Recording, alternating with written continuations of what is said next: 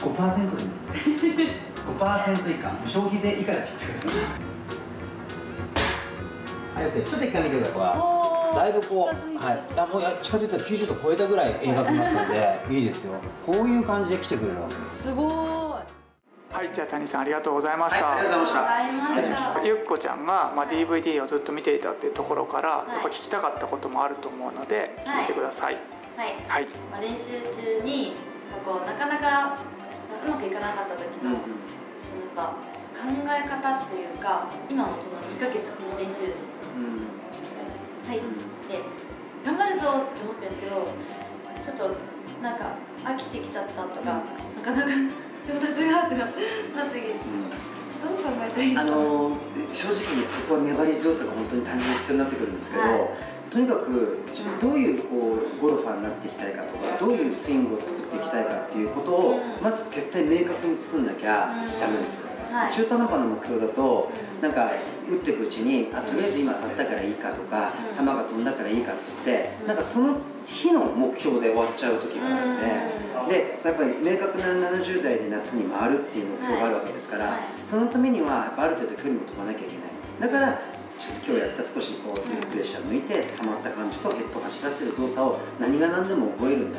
うん。で例えばじゃあもしうんこうなんか心が折れそうだったら、うん。その日のこうなんかゲーム感覚で目標を作るとかもいいですよね、うん。例えばよし今日は10球中5球この角度の動きで打ってって、こういう球であそこの例えばグリーンに乗ればいいやとか、うん。なんかちょっと少しゲーム感覚的なものとちょっと変わってくるかなと思います。はい。ちょっとゲームでちなみにあの僕がちょっと教えさせてもらってる、まあはい。片山慎吾選手というプロゴルファーがいるんですけど、はい。毎年合宿1月ぐらいに行うんですが、はい。その時に、えーと「今年のテーマはこういうのやりましょう」って例えば決めるじゃないですか、はい。で決めたら彼は僕1週間大体こう宮崎でやるんですけどうん。合宿を。その1週間の間、えーと朝の10時半ぐらいから夕方の4時ぐらいまで徹底的に腰から腰までを1日1000発前後ぐらい打つんですよ。それを1週間それしかやらないんです球打ちえそれでやっとこうあなるほどねこのぐらいの感じかって本当もうミリ単位の本当動きなんだけど、それがこうかやっと、まあ、彼らはね一流だからそんだけこうあのあの突き詰めなきゃいけないと思うんですけど、はい。やっぱそうやってやって覚えていくんですよ。腰から腰までの一日1000発ぐらい打ちますね大体。ぐぐらいやってこうもうそろそろフルスイングしてもいいんじゃないってこっちからもう投げかけちゃうぐらいの感じで、はい。そのぐらい徹底してやっておくんで、そうやっぱもうねやっててちょっとこうつまんないなとかっては思っちゃうと思うんですけど、あの絶対にこれを覚えるっていうなんか強い意志というか、はい。でがないとあれはマスターできないと思ったんですよ、はい。よし。でちょっともう一つ余談なんですけど、はい。もう一人あのシニアで米山剛人って方を見させてもらってるんですね、はい。その方はちょっとまあ大きなスイングでうん。ちょっとこうクラブの動きも良くなかったんですよ、はい。でもうあの僕のところに来てくださって、はい。その時に約束事を2つして、ん。1つは絶対7番アイアン以上使う打たないでくださいと、うん。いいいいいっていうまで。はい。それから、えっと、いいっていうまでコースに絶対回んないでくださいっていう約束事をして、えっと、ようやく7番アイアンからのハーフスイングから大きく今日やったじゃないですか、はいはい。あのスイングから大きくさせるまでに大体6ヶ月ぐらい。え？毎日打って6ヶ月それでそこから今度大きくなった次の段階で3ヶ月ぐらいうん。で9ヶ月後にやっとコースに出てコースに行った時に「いやー久しぶりに9ヶ月ぶりにコース回れるわ」っつって一緒にコースレッスンに行ったんですよ、2人で。はい。それではドライバーパッと抜こうとしてねやめてくださいと。7番しかやってませんよねっつって。7番や1本だけ でももう今本当にスイングが変わって、はい。あの怪我のないスイングになってきて、うーん。えとい。うじゃああの今日やったあのハーフスイングって、はい。ドライバーでも通用するあのああの今は7番でやってもらいたいんですけど、はい。はいやってくるとだんだんスピード上げていった時にドライバーでも練習してもらいたいです、あー。後で今ねあの大きさでちょっとやっちゃうと球あのスピードがまだ乗ってないから、はい。球が思ったより上がらないんですよ、はい。で上がらないと上げたくなっちゃうとまたこうなっちゃうから、はい。今ちょっとロフトのあるクラブではい。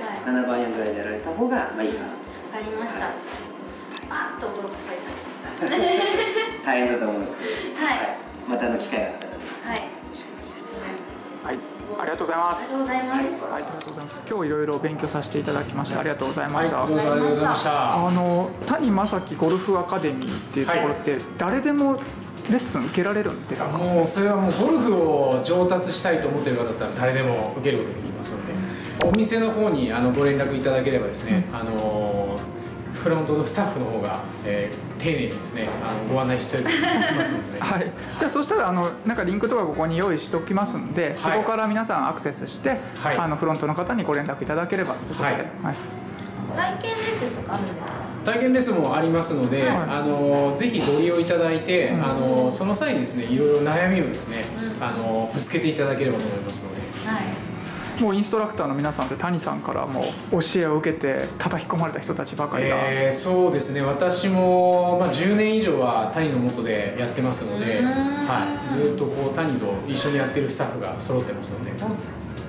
あのすべてすべて伝授されて伝授そうですね。あの隅から隅まで隅から隅まで。はい、できてますので。はい、しかもすごいスクリーンさっき見たんですけどやっぱいろいろこのボールのなんか打ち出し角度とか全部出てるね、サイドスピンとかさっき聞いたんですけど。はいはいはい、はい。そうですね。はい。結構わかんないことばっかりでしたはい。ねはい、なんで詳しい自分のショットもすごい見てもらえるのでかなりかなりありがたい。と思い。ます、じゃあ皆さんこの概要欄からコメント欄にもリンクありますのでぜひアクセスして、えー体験してみてください、はい。はい、よろしくお願いします。体験レッスンだけでもね絶対受けてみた方がいいと思います、はい。悩んで思いましたはい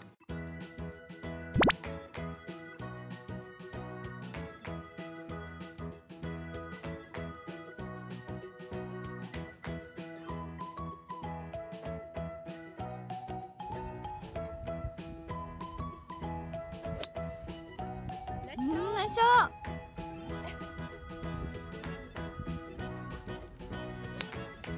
ナイス。完璧。